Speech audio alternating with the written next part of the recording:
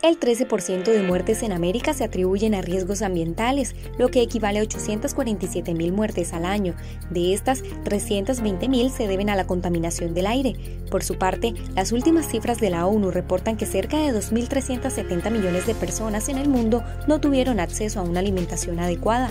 Este preocupante panorama llevó a los estudiantes de la Universidad del Magdalena a hacer un llamado de alerta.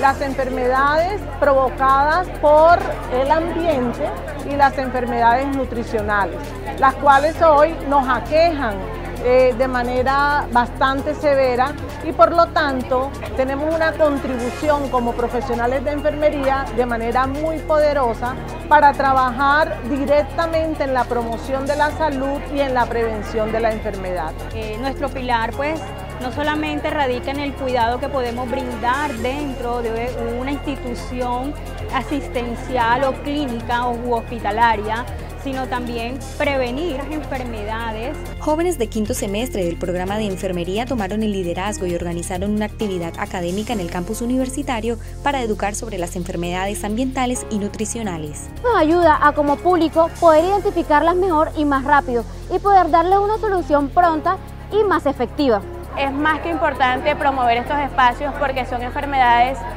públicas, de salud pública, que son importantes para toda la comunidad y nosotros como líderes pues tenemos esa comunicación asertiva con la comunidad y pues qué más que importante que compartirlo con toda la comunidad educativa de la Unimagdalena. Este tipo de enfermedades pueden llevar enfermedades respiratorias, enfermedades cardiovasculares, enfermedades como gástricas también. Este espacio se dio como un ejercicio de la asignatura Fisiopatología y fue propicio para mostrar el compromiso de los futuros enfermeros con compartir información para generar cambios en los hábitos de los seres humanos buscando una mejora en sus entornos. Universidad del Magdalena, aún más incluyente e innovadora.